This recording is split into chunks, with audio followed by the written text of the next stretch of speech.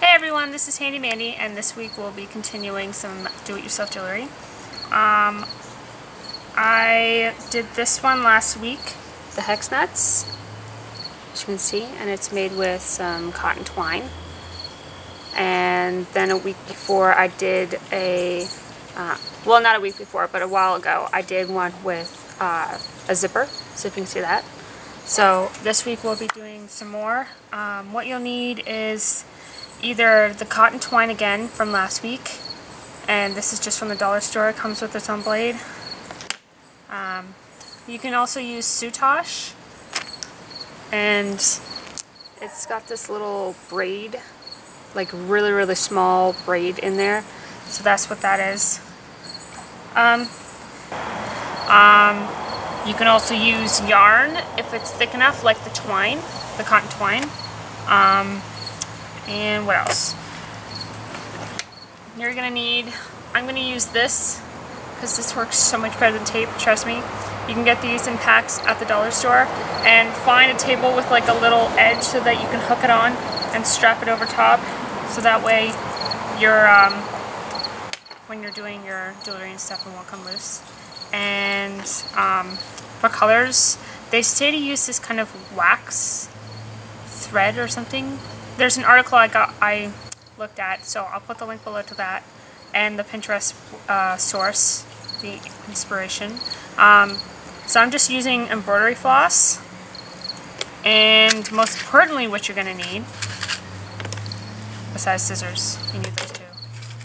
Um, you're going to need, these are chains that you, fudge! Sorry. You're going to need these chains that um, they use for fans you can see that. So um, they have silver and gold coloring. They're not actually, you know, silver and gold. It's probably like zinc or something coated. Um, the gold one or the silver one is one of them is more expensive than the other. So you're between $3.99 to $4.19 for these. Um, now you can either use the hex nuts these are from last week. These are $4.99 at your hardware store. And this is a 3 16th inch. Um, though it looks like the twine, either like the way I made it last week, you either want thicker twine or smaller hex nuts, but it's up to you. You can still use it as a closure, uh, which is what the uh, directions for this one calls for. Or you can use um, a button.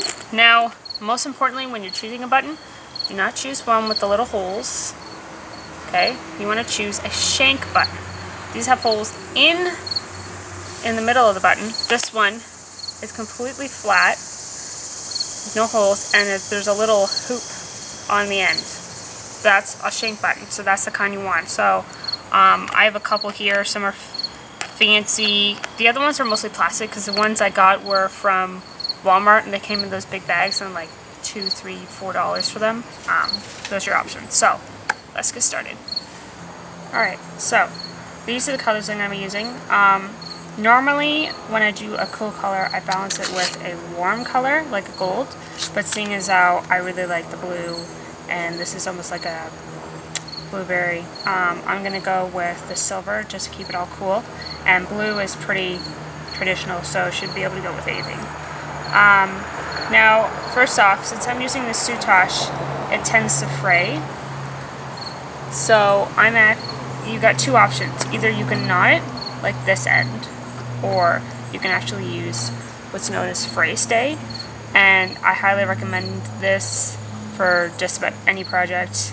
The only thing is, depending on how much you use it and what kind you get, I can imagine, um, it tends to make the edges really crispy. So it's up to you. So I'm going to knot this. Um, I want to see how many times this is going to wrap around. Because this is really long, and what I might do... be get out of the shot. Okay. What I might do is just cut it in half, since it's extra long.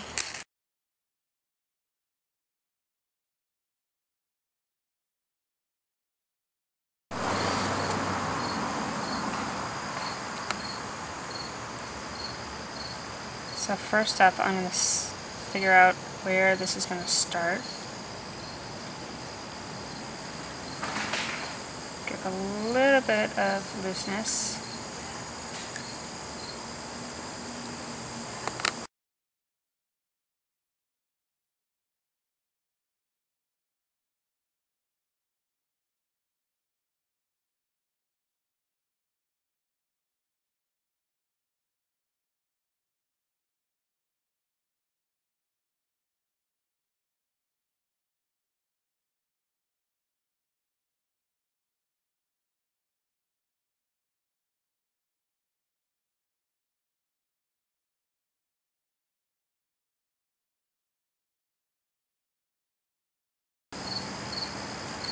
Wrap around five to six times.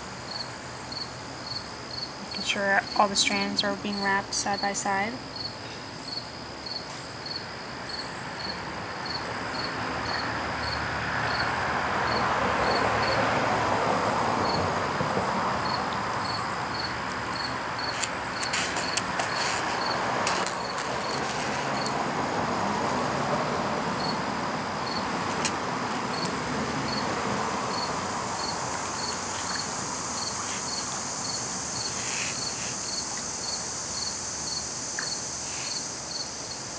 And the whole point is to wrap in between each of these little balls. So since I can I'm going to actually wrap it around twice at the beginning. Now that I've gotten three of them and it's secure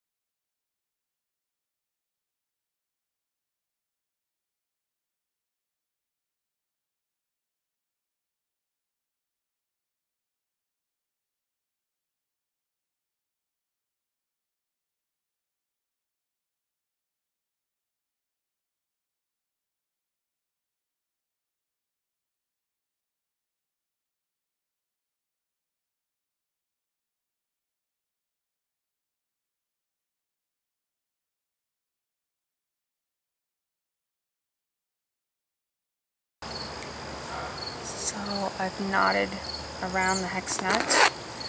I'm cutting off the excess.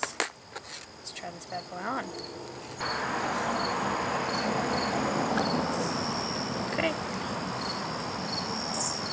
And there we are. So, I have my zipper bracelet, I have the new bracelet that you just saw me make, and this one.